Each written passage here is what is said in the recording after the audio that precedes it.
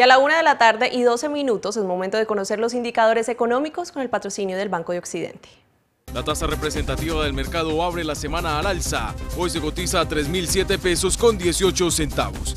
La venta del dólar en casas de cambio también abrió la semana al alza. Hoy se cotiza a 2.840 pesos y se compra a 2.780. El precio internacional del café bajó. Hoy se cotiza en un dólar con 43 centavos la libra. El euro abre la semana a la baja. Hoy se cotiza a 3.558 pesos. La VR subió.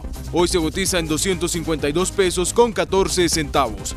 El precio del petróleo WTI abre la semana al alza. Hoy se cotiza en 57 dólares con 55 centavos el barril.